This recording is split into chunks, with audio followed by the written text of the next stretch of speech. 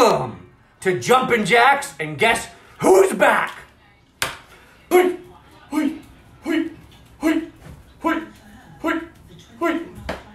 This sounds boring for you. Number two, world's okayest brother.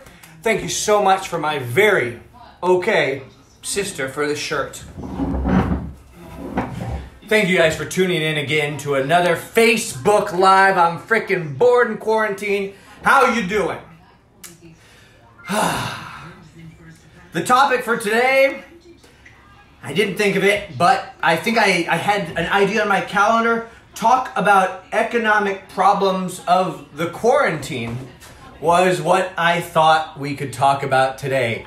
So I'm going to invite a couple special guests on uh, uh, to talk about the economic problems of the quarantine with me. What do you guys think about that? Does that sound okay? Great. Here, let's let's get agile. We had some great action yesterday. For those of you just joining, I am going live every weekday this week at 8 a.m. Colorado Standard Time. Here at about 10:30, 6 p.m. Philippines time. So, just kidding. That that means uh, to 8:36 a.m. I think in Colorado or something. So, um, anyway, so I just invited.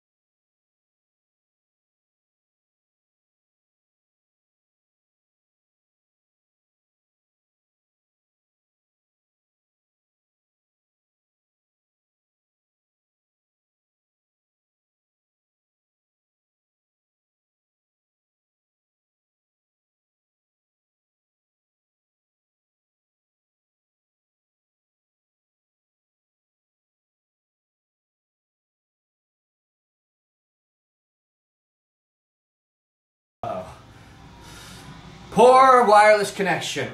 That's what Facebook Live just told me. That's the last thing you want to hear when you're in lockdown. Is a poor wireless connection. Ahmed says, "Call me brother." I can't. I can't call you, brother. I'm, I'm on Facebook Live. I can't make a phone call. My phone. My oh, there it is. My phone's right there. I'm live on Facebook, but I do have a Facebook open on my computer. You know, in case. Uh, here, let me. Yeah. Wow, geez, I have a lot of messages. Why are these messages not coming through here? Anyway, so today I was trying to buy an Xbox. I really wanted to buy an Xbox today because I'm so bored. And I almost bought an Xbox from a friend when I told him that I wanted to use it for Fortnite. And then he found out that Fortnite was cross platform and he said, sorry, man. Actually, I can't sell it to you. So I started searching online for Xboxes and PS4s because I want to play Fortnite, okay? Does anyone play Fortnite? Can you comment below so we can play Fortnite together? If you play if you play Fortnite, that would be freaking great. So um, I literally have people helping me uh, search for Xboxes. It's actually very difficult to to uh, buy an Xbox here because there's not much uh, how do I? Okay, can't. Okay.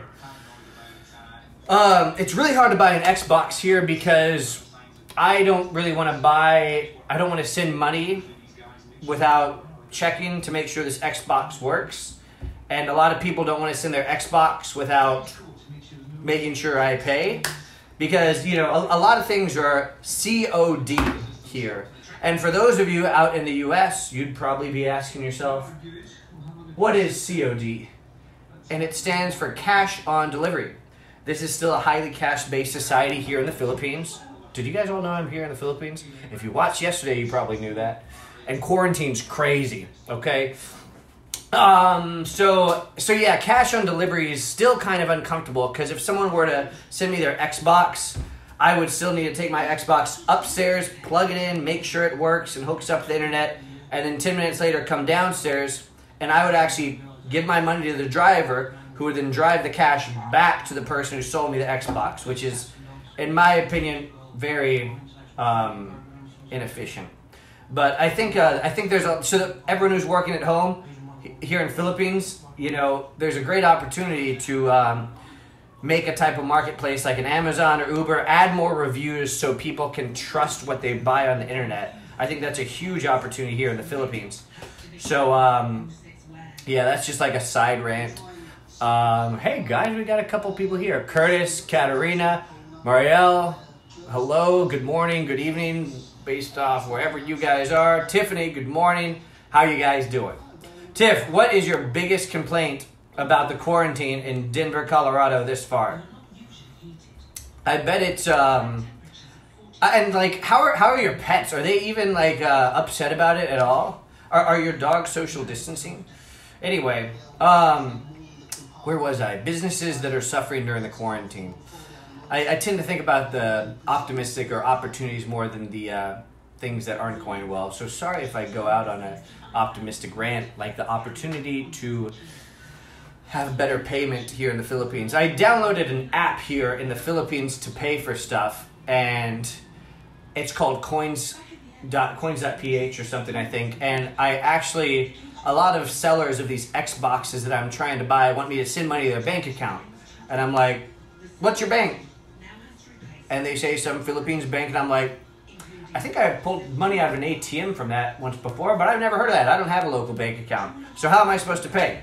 It's either cash on delivery or who knows.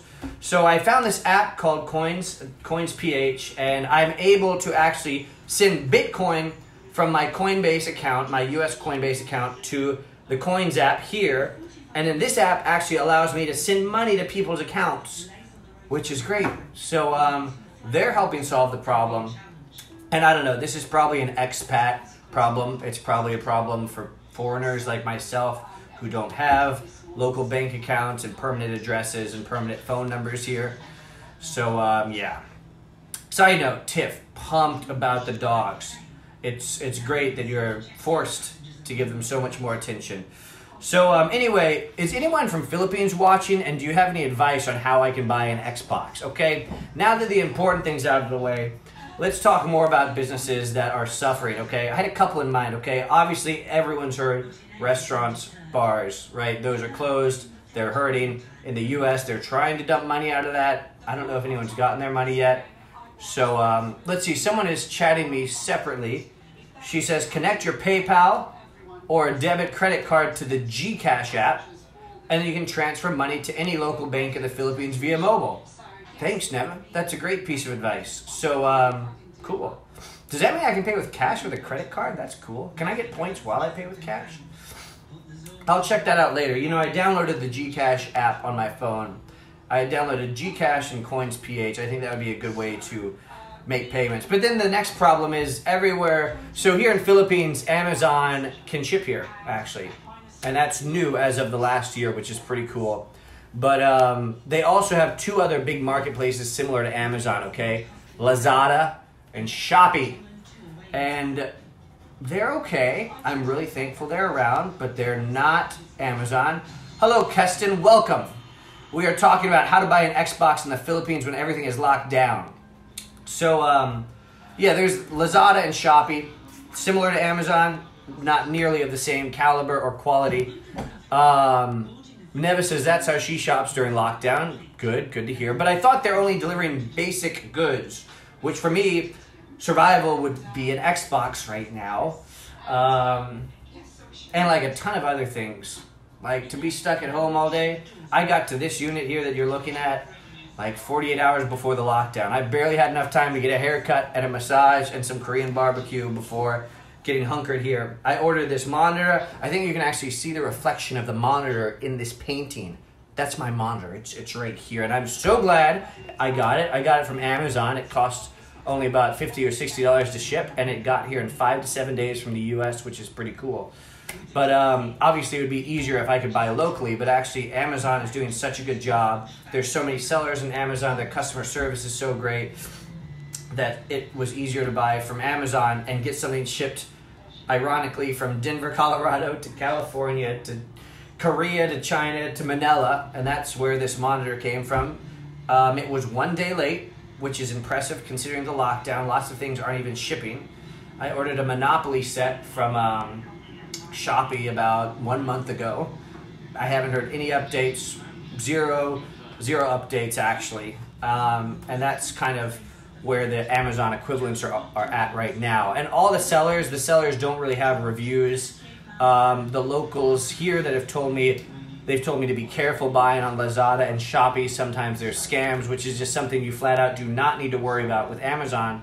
Because for me, if there's ever a problem, Amazon is going to refund me sometimes even before I ask about it, which is outstanding. But um, it just shows you that great customer service is not a surprise that that's behind one of the world's most wealthy entrepreneurs out there. So um, I keep I keep getting distracted, guys. I'm sorry, but I, I guess talk going back to businesses that are suffering during lockdown. Retail stores are all shut down, right? Like almost everything. Um, I think, well, actually, there are some. When I'm thinking about open businesses that are open here, there are like maybe less than a dozen restaurants that will deliver to me. On Food Panda, we have Food Panda out here instead of Uber Eats. I think a panda is way cooler than Uber Eats. It's like a Food Panda, and it's it's this pretty pink app, and it it works. It's pretty slow, but it gets food, and I'm not starving. In fact, I need to exercise more because I'm eating a lot of food. But um, yeah, that's the scoop. Um, otherwise, like looking downstairs, the hardware store is closed. Every other restaurant's closed. Some of the smaller uh, boutique stores are closed. You can't buy a, bo- a pair of boxers anywhere. You can't buy shirts. A lot of laundromats are closed. My gosh, let me tell you guys about my laundry experience once I got here. So um, I got here 48 hours before the lockdown, and the lockdown began to get more strict. Before I flew here to Philippines, I had a bachelor party with Diego Cedillo at, in Las Vegas with five other guys, and then I stayed with one of my mentors, Braden Pollock, in Los Angeles. And um, after that, I came here, so I actually already needed, needed to do some laundry. And I gave about 70% of my clothes to a laundromat and then the lockdown happened, and I didn't have 70% of my clothes for about a month. And that sucked. And, uh, you know, I don't have a washer and dryer in this unit. Most units don't have them here in Philippines because it's very affordable for someone to pick up your laundry and bring it back to you folded. Uh, that costs me about $4. Hey, Marge, what's going on? How's Denver? Huh? Oh, wait. No, no, different Marge. Hi, Marge. How's uh, Manila? Um, so I didn't get my clothes for like four weeks. Shout out Panda Laundry, not to be confused with Food Panda. We like Food Panda. We don't like Panda Laundry. Okay, they kept my clothes for four weeks, and I finally walked past, and the door was closed. The sign said closed. I walked past it maybe seven, eight times just in case they were open. Uh, they didn't respond to any phone calls or text messages, even though they had 70% of my clothes. And they did respond on Instagram and they said, Sir, you cannot have your clothes. We're on lockdown per the government. Talk to you on April 12th. And this is on like March 13th. I'm like, so um, walked past. I saw people in there. It was this past weekend during the holiday. I imagine they had a ton of clothes to wash, and tons of other people were angry that their clothes weren't there. So um, I knocked on the door. I said, "Give me my damn clothes. I don't care if they're clean," and um, got the clothes.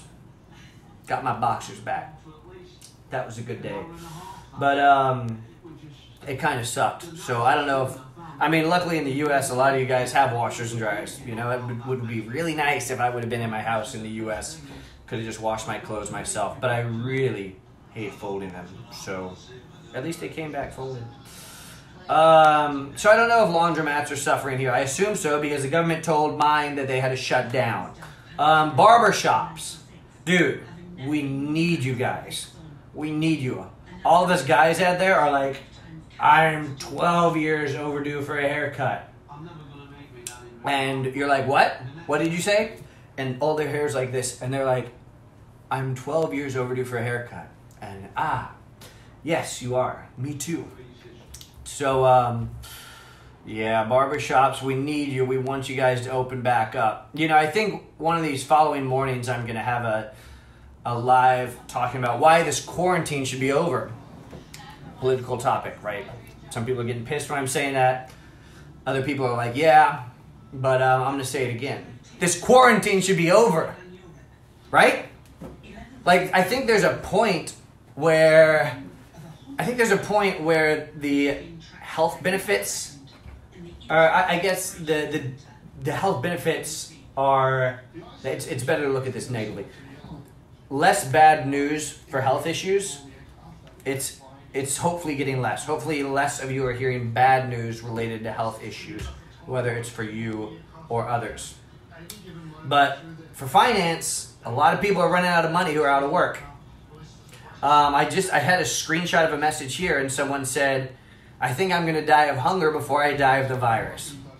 And uh, that's a great example of where all of us are headed if this lockdown and quarantine does not end soon. Yes, I'm sure. And, and think about it. If the quarantine were to end, are you going to run up to strangers and stand right next to them? No, you're not. Right? We learned from this. If everyone can leave their house and go back to work, we're going to be a little bit smarter.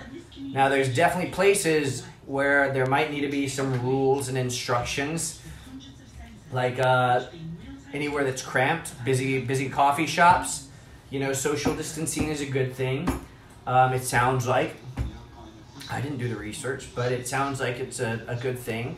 And some coffee shops, you know, some popular restaurants, um, nightclubs, stuff like that, probably probably need to be very careful if there's a lot of people going into a, a small space. But there's a lot of places that could open, you know, and especially now that everyone's been working remote in the entire world who still has work well, now it's okay to work from home, and your employer might not demand you to come into work. Maybe they have the important people come into work that need to be there for in person tasks and leave the rest at home.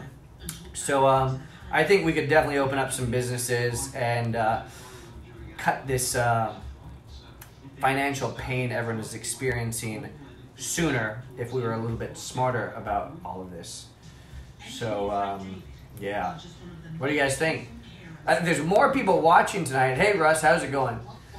Um, there's more people watching tonight, but you guys are so quiet. Um, for those of you just joining, I'm talking about why I think this lockdown or quarantine needs to end soon. Because, um, you know, health health is important, and it's good to force people to not infect each other, right? You have to protect the uninfected, and that's the only way to stop an epidemic turning into a pandemic and a pandemic from blowing up like it has in New York, you have to protect the uninfected people. And of course, you have to care for the infected people. But that's where the problem is right now. There's too many people needing care. And if all of us go out irresponsibly joking about the coronavirus like it's something that's not going to hurt us, that's where that's what overfloods hospitals from what I'm reading in the news. But I don't know, I'm sure it's different in every single region and county and neighborhood in every single country and city. Uh, who knows? I mean, all you see is what Facebook shows to you or what Instagram memes you're looking at or what is showing up for your Google alerts. I mean, the interesting thing with all of this is how much control do we actually have over what news we're seeing, right? Like when you like something or when you engage with a piece of content, that social network is going to show you more things like that, right? So like a Republican's going to go on like Fox News and then they're going to see more Fox News articles and they kind of go down this rabbit hole. Where someone else who hates Fox and wants to watch a different news source or wants to watch an indie writer, you know, talk about conspiracy theories, they're going to go down this other rabbit hole. And um, it's kind of hard to know, we don't know how the algorithm works, so you don't really know what news you're seeing or how that's being used to control you if we're being controlled. I personally don't think we're being controlled. I think companies are out there trying to make money off ads, but that's okay. Uh, what do you guys think about Apple and Google partnering up? That's pretty crazy. They want to partner up, two of the world's biggest companies, biggest tech companies, they want to partner up and get a ton of data about everyone. Um, if it can stop the spread, great. But at what expense? You know, everyone is scared right now. We're all very full of fear that, you know, our family might catch the coronavirus. Our, our older our older folks might catch the coronavirus. That is very scary. But and as important as that is, just don't forget that if Apple and Google ask you and everyone in your building to agree to share your location with them and your your phone's ID, you know, now they can see what iCloud you're signed into. Google can see what Gmail on what device you use, and then suddenly you uh, you are sharing your location at all times with two, at least two of the biggest companies, and no one reads the privacy policy. You just click agree, accept the terms and conditions, agree, and move on. I sure do. I, I do save copies of those nowadays, but yeah, I mean, that data that you give to them is going to be available 10 and 20 years and longer into the future. So think twice about that because you don't know how it's going to be used. You don't know how it's going to be sold. You don't know how it's going to be hacked. Be careful with your data right now, guys. Now's not the time to make too many decisions out of fear. Even in a pandemic, you need to think hard about what decisions you make and what information you share online. Um, so that's about it. That's about it. Um, all right. Well, you guys are kind of quiet today, so I'm out of here. Short one today. Peace out.